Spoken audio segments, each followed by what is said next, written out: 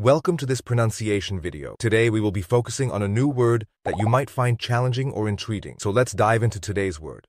Termines, which means It seems you're referring to a term that does not have a standard definition in English. Termines may be a typographical error, misspelling, or a term from a language other than English. If you meant terminus, the plural form of which is termini, please clarify or provide context, and I will provide the definition accordingly. Let's say it all together. Termines. Termines.